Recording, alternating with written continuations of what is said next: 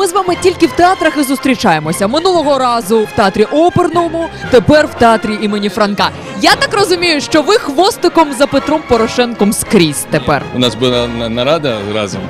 А зараз я тут е, з Карі Каспаром, е, з російським гросмейстером, так що будемо спілкуватися з ним, з президентом. Я не відкрию вам Америку, якщо скажу, що у вас слава серцеїда. Зрештою, багато говорили про те, що часом ви жили з дружиною, часом ні. Зараз тільки ви можете розставити крапки на і. Ви все ще одружений?